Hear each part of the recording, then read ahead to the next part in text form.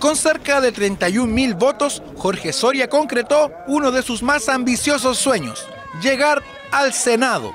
Alcalde de Iquique por 50 años y catalogado como uno de los últimos caudillos de la política chilena, el Choro Soria llega a la Cámara Alta con conocidas propuestas para los iquiqueños.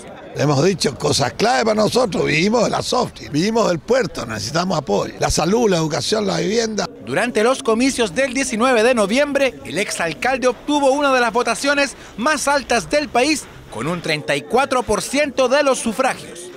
Votos que sitúan a Soria de 81 años en la Cámara Alta, instancia decisiva de discusión y legislación.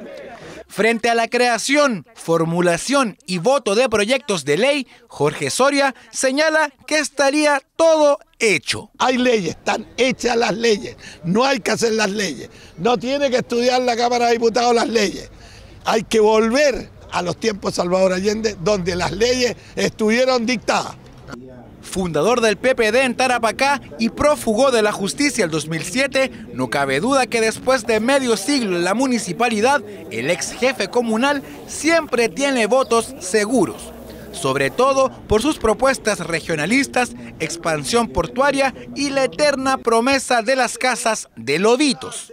Yo creo que esta es la resultante de 50 años de trabajo. Cuando digo 50 hay que contarle las veces que me han tenido preso, todo, pero la clase política no ha muñequeado quitar el poder indebido.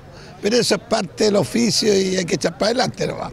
Y frente a los dichos de sus adversarios políticos que cuestionan la edad con la que Jorge Soria llega al Parlamento, siempre hay fieles escuderos que salen en su defensa.